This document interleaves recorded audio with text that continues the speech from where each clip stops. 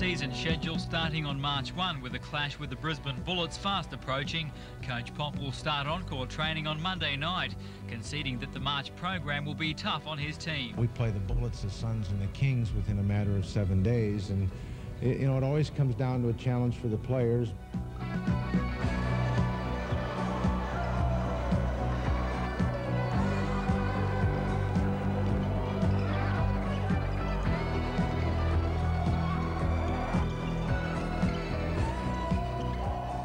Takes a very quality player to understand the task at hand because oftentimes fans and, and media have a tendency to, to, to do too much comparing. Uh, this player is like this player, this team is like this team, or how you're going to, and the reality is it should always be a test against yourself.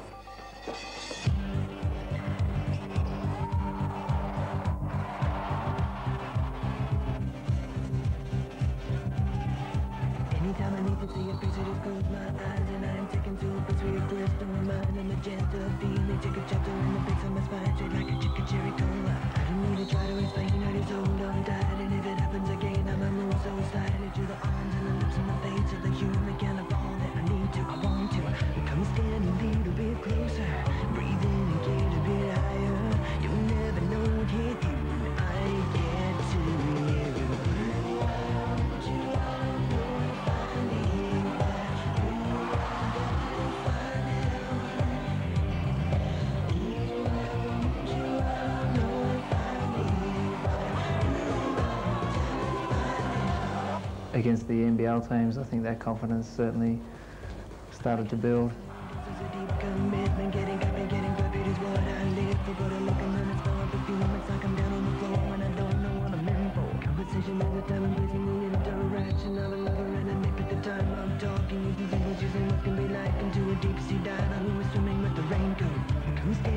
a bit closer, breathe in and get a bit higher.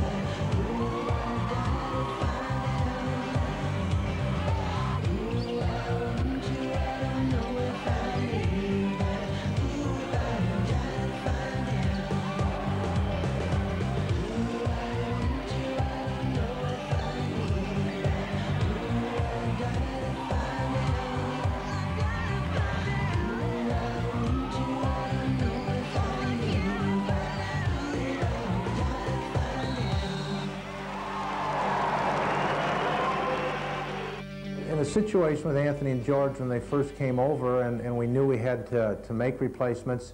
We had done as much homework as we could, uh, visiting through uh, talent scouts, visiting through coaches.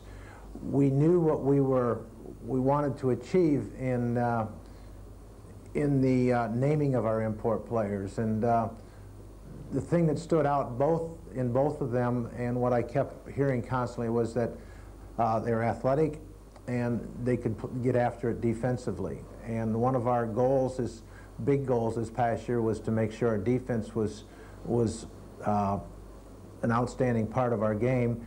And we felt that uh, all along that both of these players, if they were motivated properly, would be able to play defense for us.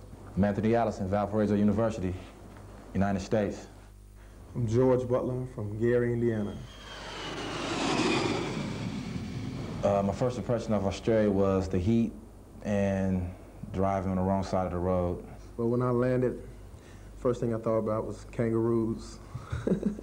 I wanted to see see kangaroos. That's the first thing I wanted to see. Well, me and George, um, George went to grade school with my college roommate, and um, he used to come up to Valpo and um, play. That's Valparaiso, and we had the same sports agent. So before we came, we played like four games with our on our sports agent um, agent team. We played against a couple of university teams. We played against Valparaiso, so we knew that we were going together, and it was kind of good to know that you know you had a friend that was going with you and we sat down on the plane, we talked, got to know each other a little bit better, and we just hit it off. And right now, I consider George to be one of my top friends. And these two guys were great this year. George, they're two young guys, and they've played with a lot of older guys, and they're sort of pretty set in their ways. But these two guys were just out here to enjoy themselves this year and play some good basketball. So George's dress sense, I don't know. I see all sorts of stuff on him that I've never seen before. So.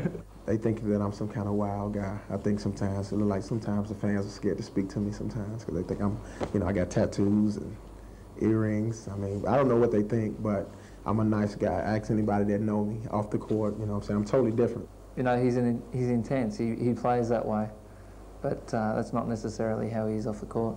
Yeah, well, Anthony and George, you know, they're good players, and you know they're even better off the court. They're good to get along with. Um, yeah, they've got a a good desire, you know, to win, and um, I guess it rubbed off on all the team.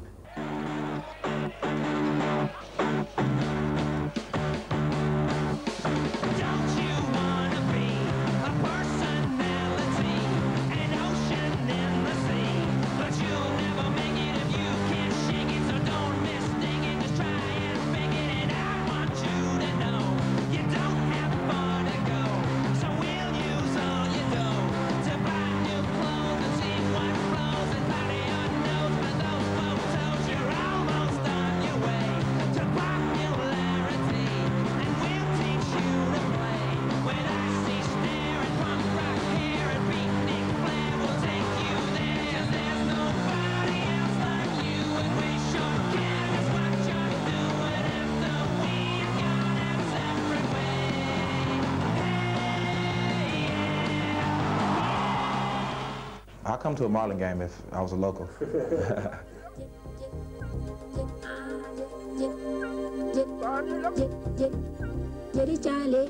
It's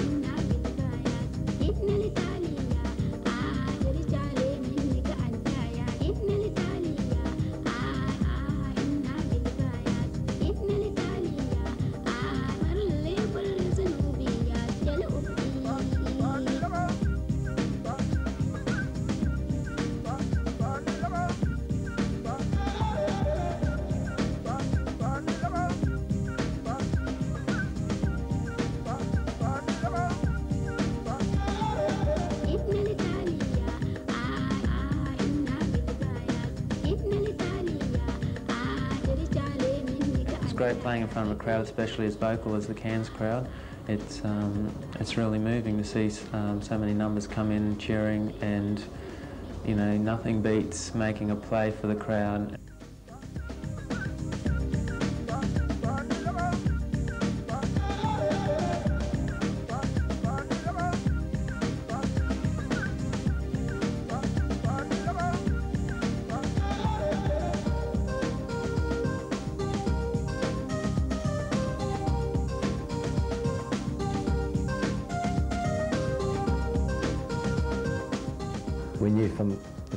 Came out in warm-ups in that game, and you know, we looked down the other end, and you could see that fire in our eyes. You know, we've been through our hard pre-season, we're just ready to play, and that's what we did.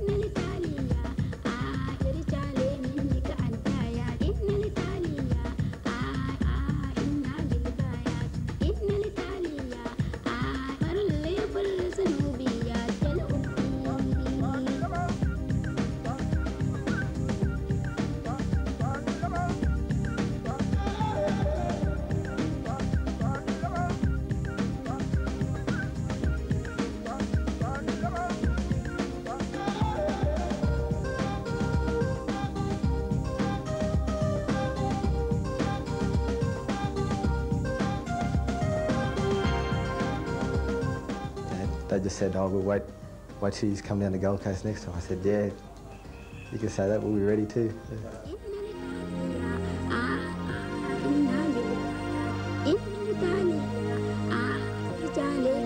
Yeah, I've always had a bit of trouble with Andre because I played against him uh, National League for a couple of years. And um, he's a big guy, he's about 6'8", 6'9", and uh, he's got good touch close to the basket, he's pretty athletic. So, um, But you know, it wasn't too bad. We um, shut him down down in Toowoomba down there. I think he only had about 16 points or so when we played him there. And uh, we won that game, so it was pretty successful.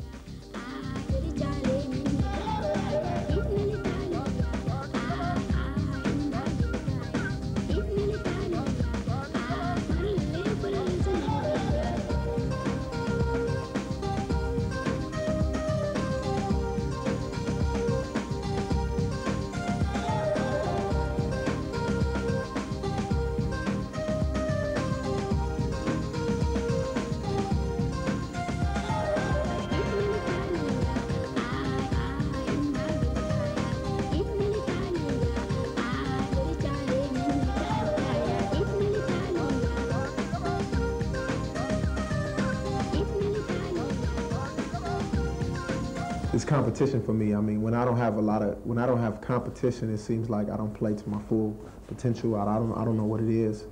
But uh, whenever it's somebody that, you know, is supposed to be big and bad, I like to challenge it, you know what I'm saying? I guess it's just the competitor in me, you know. You know, I wanted to prove a point that I was uh, in Australia and ready to play.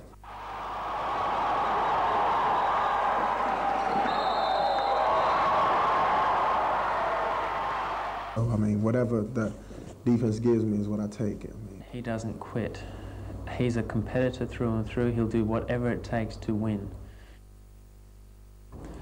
I know. I think this year I made a I made a decision to be a part of the team rather than, um, well, more so, um, feel as though I was part of the team and that I was contributing to the team, whereas in previous years I have not felt that.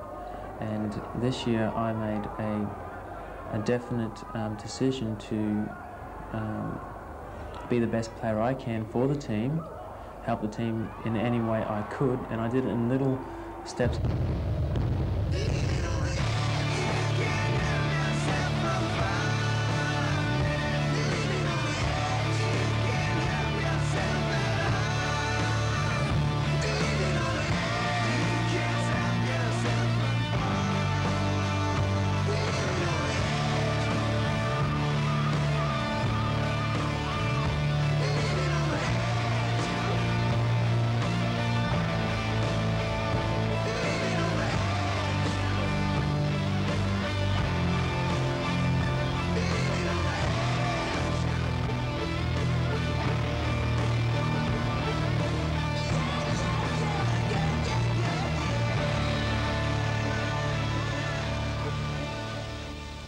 I think that any competitor wants to compete, and I believe that that we really need to, to test and stretch ourselves if we're ever going to feel the ultimate about what we're capable of doing.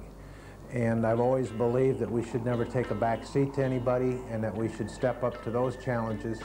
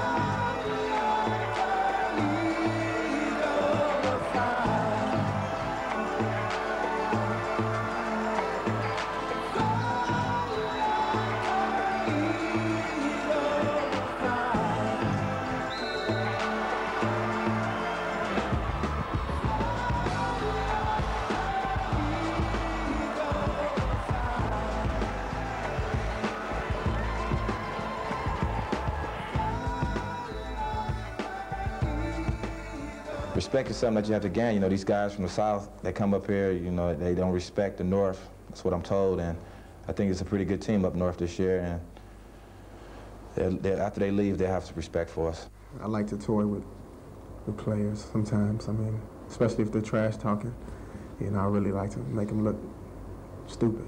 I think you've always got to have confidence in firstly yourself and your team and um, as I say putting a team together it takes time to develop and come together as a team and uh, the longer we, we you know played and trained together the more confidence I think we um, developed.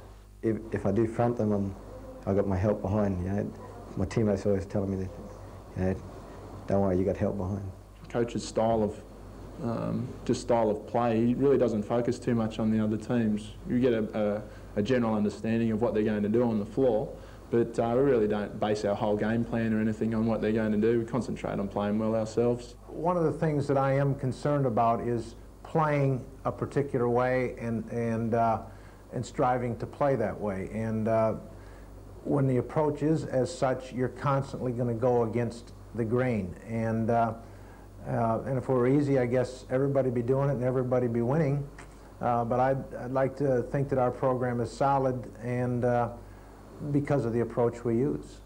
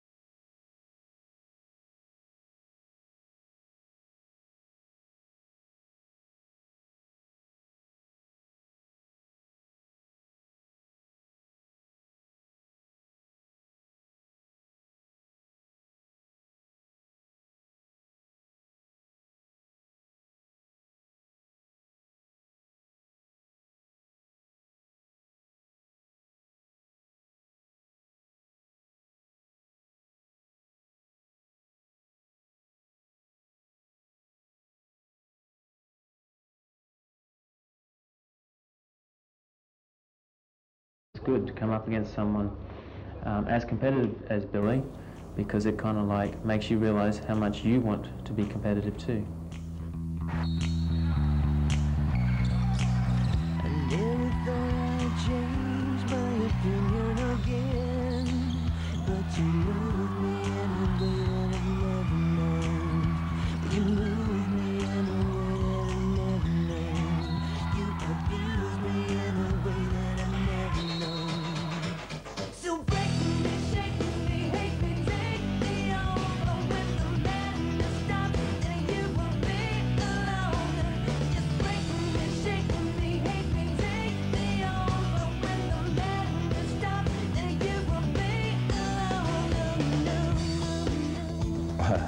Love hanging on the rim, looking down at people. From here on out, I think I'm about to be the highest jumper in the gym. So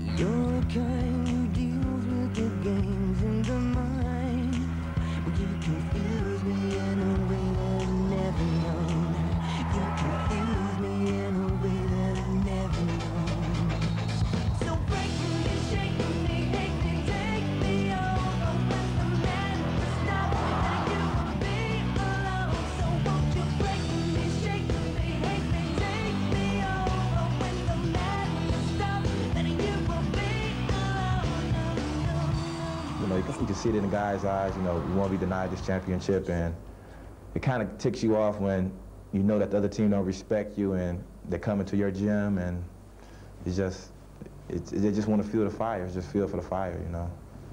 Everybody want to give you a reason to beat them. So, they, you know, every team gives us reasons. Mm -hmm. Just got to find those reasons to find a way to motivate you.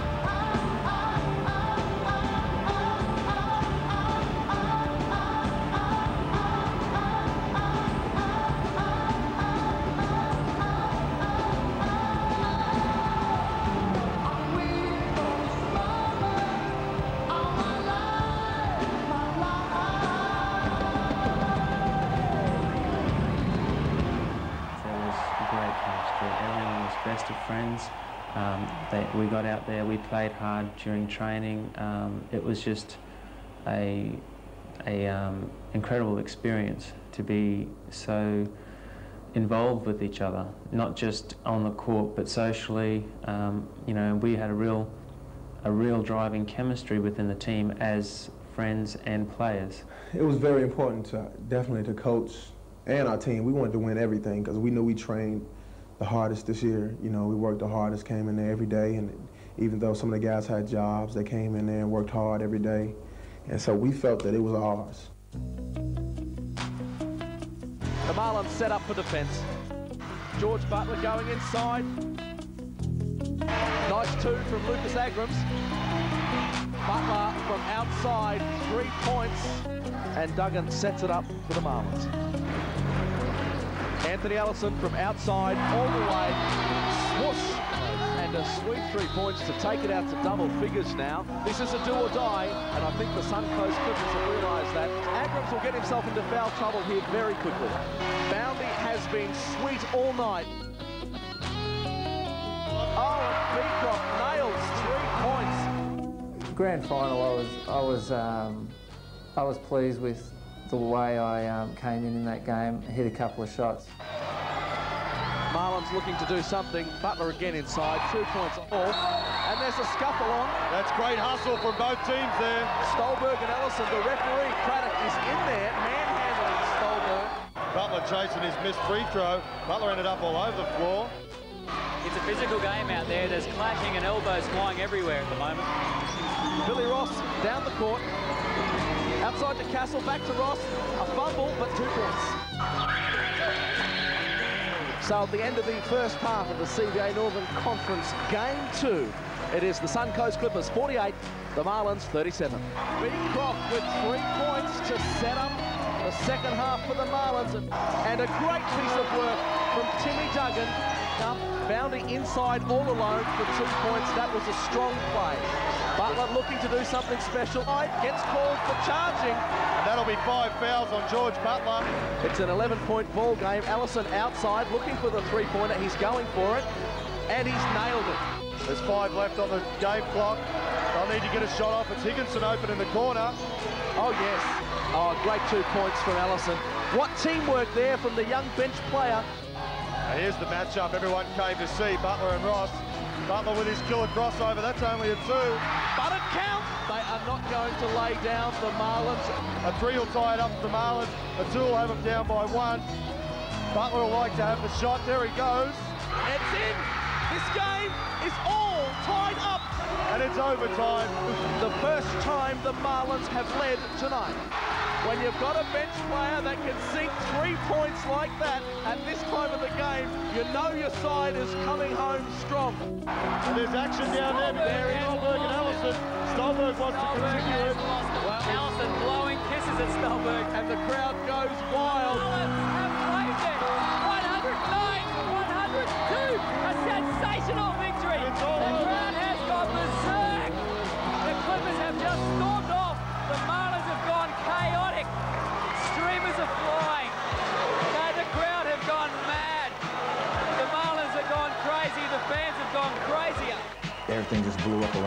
fans, the champagne, it was all on the court. It, it, it just, I mean, it just reminded me of how the Bulls did it. You know, all, all we was missing was cigars and, you know, the hugs, the kisses. Everybody was just wild. I thought it was one of the greatest things I ever experienced.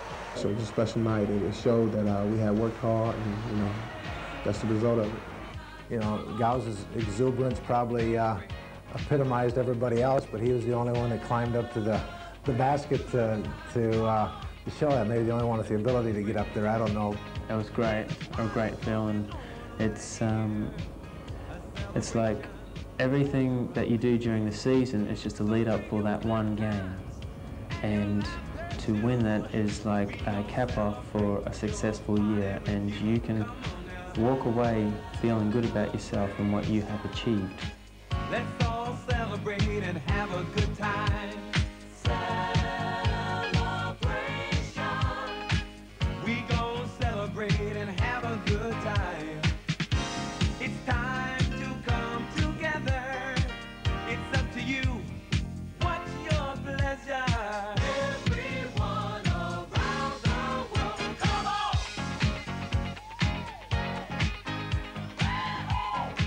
We all friends. We all like each other. We all party with each other.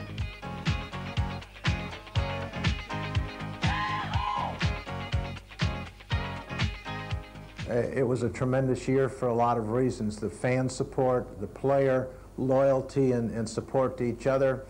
I believe um, there was a brand of basketball that was played at the stadium this year that, that, that uh, hasn't been matched before. and uh, uh, our fans became more and more compassionate and, and, and uh, endearing to the sport. And uh, I'd like to think that it, it's just a, a taste of, you know, what's going to be the continual evolution of what we're trying to do.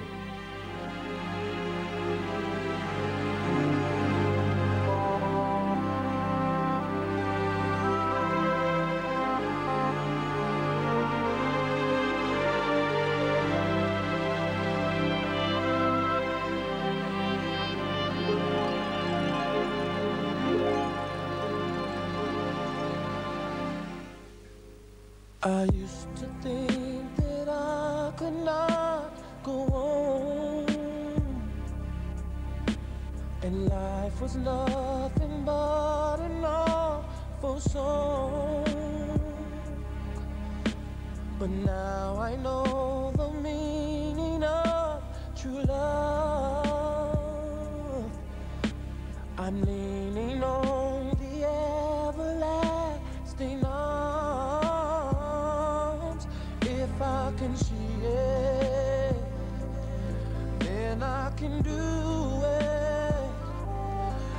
I just believe it, there's nothing to it.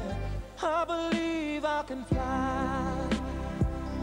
I believe I can touch the sky. I think about it every night and day. Spread my wings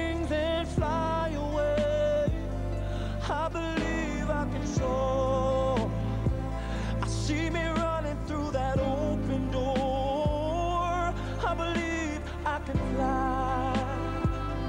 I believe I can fly. I believe I can fly.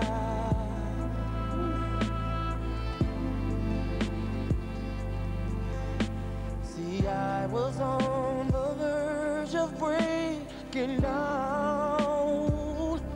Sometimes silence can seem so loud.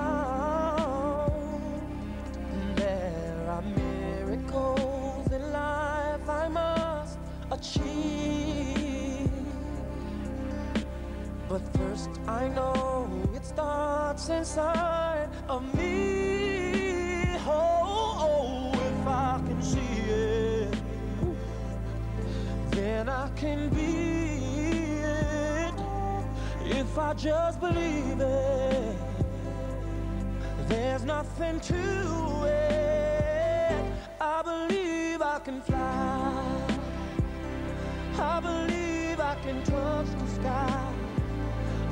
Think about it every night and day. Spread my wings and fly away. I believe I soar. I see me running through that open door. I believe I can fly.